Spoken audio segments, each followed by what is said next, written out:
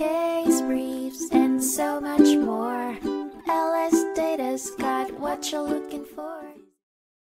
In 1995, the United States District Court for the District of Massachusetts heard the case of Hatch v. First American Title Insurance, focusing on the principle that insurance policy clauses should be interpreted in favor of the insured party, and the insurer has an obligation to fulfill its duties under the contract. The Hatches, who had purchased a home in Rowley, Massachusetts in 1986, discovered a title defect in 1987 that rendered their property unmarketable. They terminated the land sale contract and purchased a title insurance policy from First American Title Insurance Company. In 1994, First American filed a petition and won a court case to establish the property title. However, the Hatches sued First American for breach of contract, claiming for loss of value and interest paid because of the defect. First American argued that they had no liability under the insurance policy because they removed the defect through court action. The Hatches countered that the company took too long to remove the defect, making them liable. The court had to determine whether First American was liable under the policy,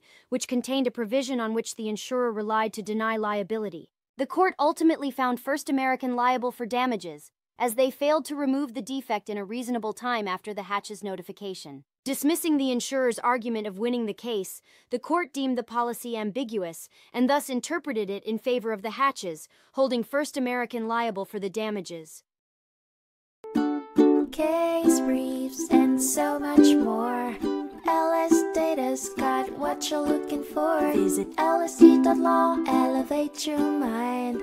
Leave the stress of class.